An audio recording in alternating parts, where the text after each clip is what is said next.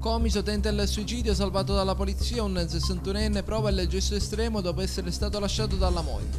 Acate, sorpreso con 2 kg di hashish, Fernando Damanti dovrà scontare 4 anni agli arresti domiciliari. Pozzallo trovato morto Nuccio Paternolomo, scomparso una settimana fa, rinvenuto il cadavere sul lungomare Pietre Nere. Vittoria manifestazione contro l'ex Serit in Piazza del Popolo, scarsa la partecipazione della cittadinanza. Precari Comiso continua l'avvertenza dei 47 lavoratori, martedì incontro dal prefetto.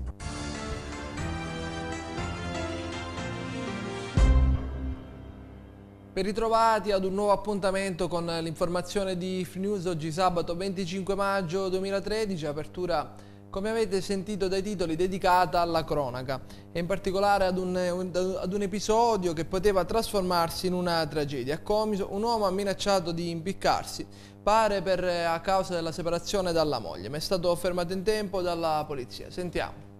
Uomo disperato tenta il suicidio dopo essersi lasciato con la moglie. È accaduto a Comiso dove un vittoriese di 61 anni è stato salvato dal tentativo di togliersi la vita dagli uomini della polizia del posto. Gli agenti sono intervenuti dopo aver ricevuto la segnalazione al 113 che spiegava come un uomo munito di corda minacciava dal balcone di casa di impiccarsi. Alla vista degli agenti, l'uomo, con precedenti, ha continuato ad intimare il suo folle gesto. Con non poche difficoltà gli agenti sono riusciti a convincerlo a desistere. In preda ad un pianto a dirotto, infatti, il vittoriese ha raccontato alla polizia di essere stato lasciato dalla moglie, con la quale viveva da 40 anni, da appena 4 giorni. E ancora cronaca in primo piano, condannato un cittadino acatese già arrestato per spaccio di droga. L'uomo dovrà scontare la sua pena agli arresti domiciliari. Vediamo.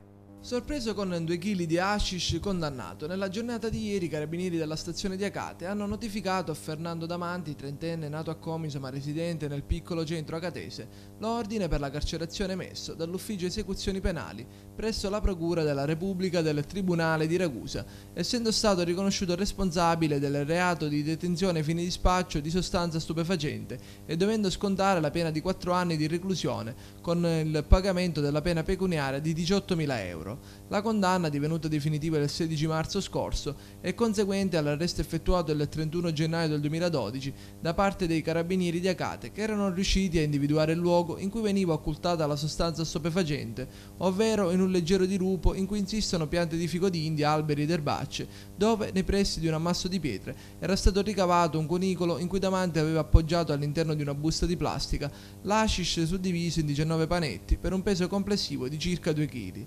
Il tutto era avvenuto in contrada Poggio San Gaetano. Nel corso dell'operazione nel portafoglio erano state rinvenute 600 euro circa in contanti, suddivisi in banconote di piccolo taglio, sottoposte a sequestro in quanto ritenuti provento dell'attività illecita.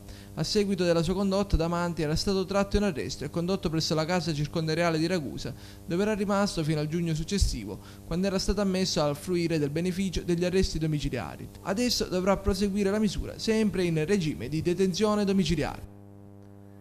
E ci spostiamo adesso a Vittoria dove i carabinieri hanno tratto in arresto Silvano Salerno, 31enne originario del Piemonte, accusato di aver rapinato una banca in provincia di Cuneo. L'uomo è stato rintracciato a casa della fidanzata vittoriese. Rapinò una banca a Cuneo rintracciato a Vittoria a casa della fidanzata. Nella giornata di ieri i carabinieri della stazione di Vittoria hanno rintracciato e tratto in arresto Silvano Salerno, nato a Carignano in provincia di Torino, 31enne, residente in provincia di Cuneo, celibe pregiudicato per reati contro il patrimonio.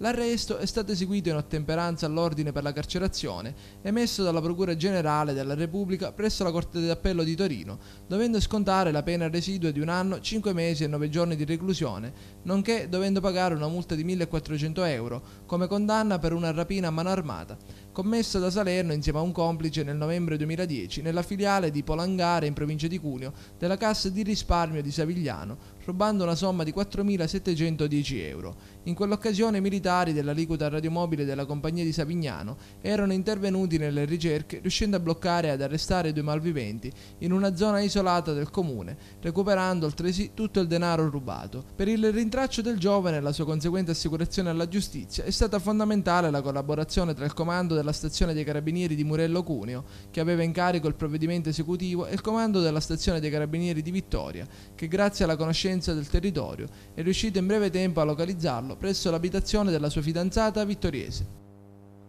ci spostiamo adesso a Pozzallo, una brutta notizia, è stato rinvenuto il corpo senza vita del ciclista pozzallese Nuccio Paternò, scomparso ricorderete da giovedì scorso. Accanto al cadavere è stata ritrovata anche una siringa. Triste epilogo per la vicenda del ciclista scomparso nove giorni fa a Pozzallo. Il 38enne Nuccio Paternò è stato trovato senza vita. Il cadavere è stato rinvenuto nei pressi della Bambinopoli del lungomare Pietrenere di Pozzallo, con accanto una siringa.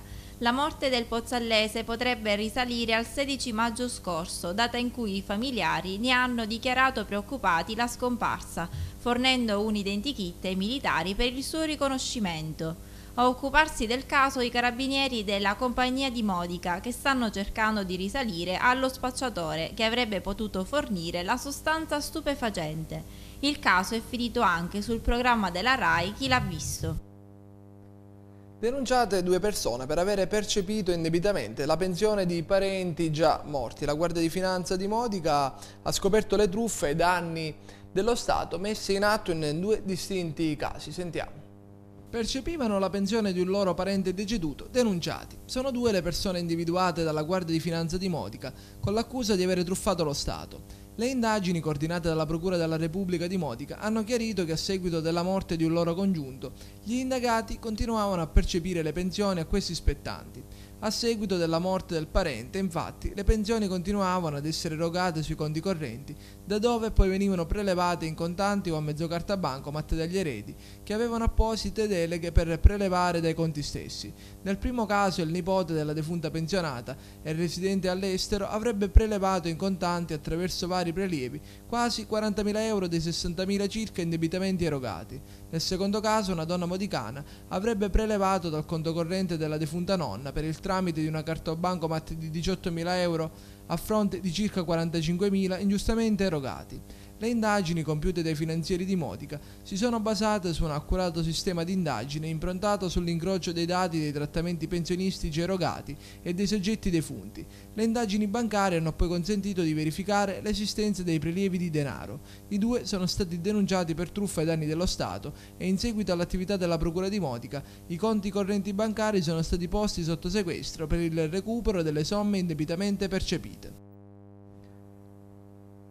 Ci fermiamo adesso per una pausa pubblicitaria, subito dopo la manifestazione che si è svolta ieri pomeriggio a Vittoria in piazza del Popolo contro la ex Serita. Tra poco.